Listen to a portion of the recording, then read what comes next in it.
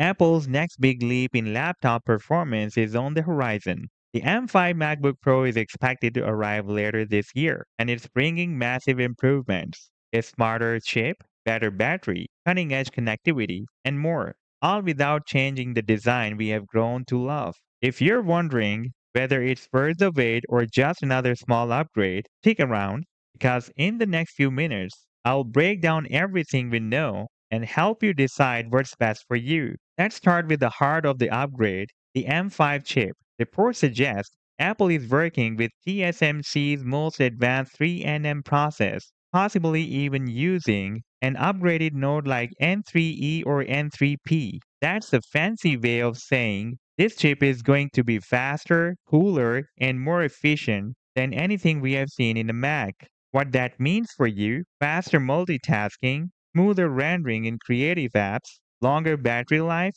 possibly pushing even past the already impressive 18 to 22 hours we see now, and better performance under heavy loads, especially in the Pro Max variants. So whether you are a casual user or a creative pro, this chip will raise the bar. Now what about design? Well, Apple seems to following the don't fix what's not broken strategy. The upcoming 14-inch and 16-inch MacBook Pros are expected to keep the same look, with that sleek aluminum body, sharp mini LED display, and MagSafe charging. But inside, that's where things get exciting. Wi-Fi 7 support for ultra-fast wireless speeds, Thunderbolt 5, which could double data bandwidth, and improve support for 8K displays or multiple high-speed accessories. Possibly faster unified memory, which means even better responsive in demanding apps. Apple's clearly focusing on internal power and connectivity,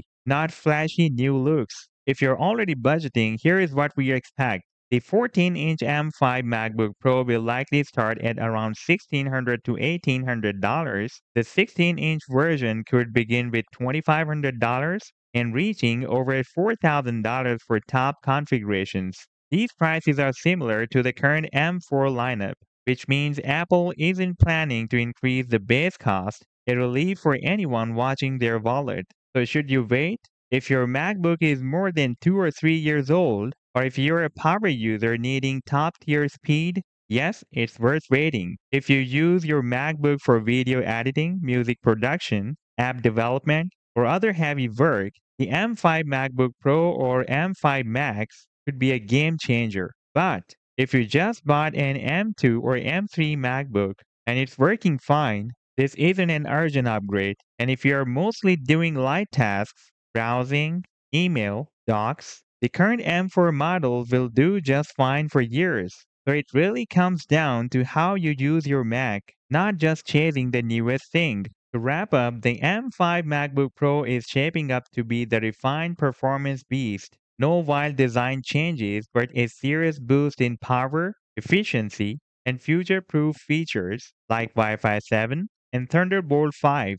What do you think? Are you waiting for the M5 or sticking with your current setup? Drop your thoughts in the comments below. I would love to hear your take. And of course, if you want more updates on Apple's future releases, MacBook comparisons, and hands-on reviews, don't forget to like, subscribe, and hit the bell icon so you don't miss any update. Thanks for watching and I'll catch you in the next one.